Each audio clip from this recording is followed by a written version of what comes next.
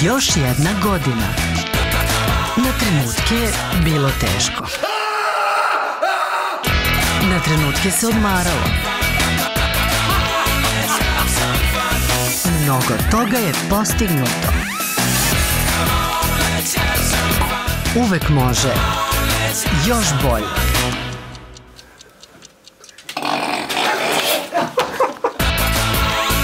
Srećni praznici. B92.